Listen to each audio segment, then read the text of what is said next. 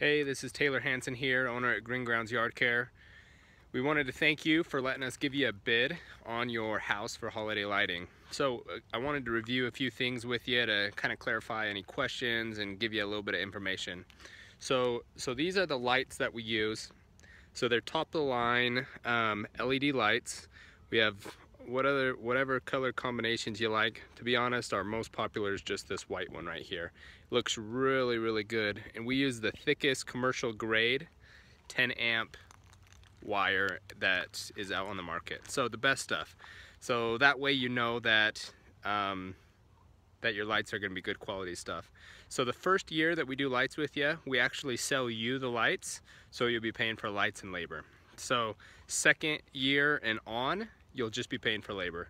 So it becomes extremely affordable. So that first year is a little bit more than usual, but the second year plus, not too bad whatsoever.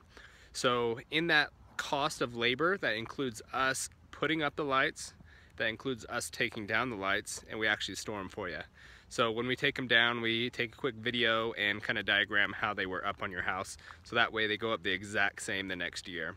So again, when we sell you the lights, we custom fit them to your house. So we'll we'll kind of we splice both ends um, so it ends right where it's supposed to end. Everything looks real good. We hide all the wires and make sure that it looks nice and professional.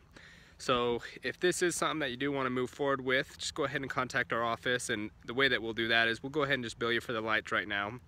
Um, and then after that, we'll put you on our schedule to come out and do the install.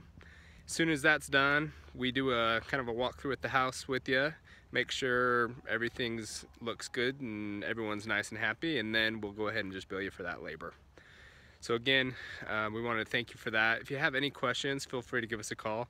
And then also, um, we are filling up quick, so we want to be able to, to get that taken care of for you and get you on our list. So don't hesitate giving us a call and we'll hear from you soon. Thanks, bye.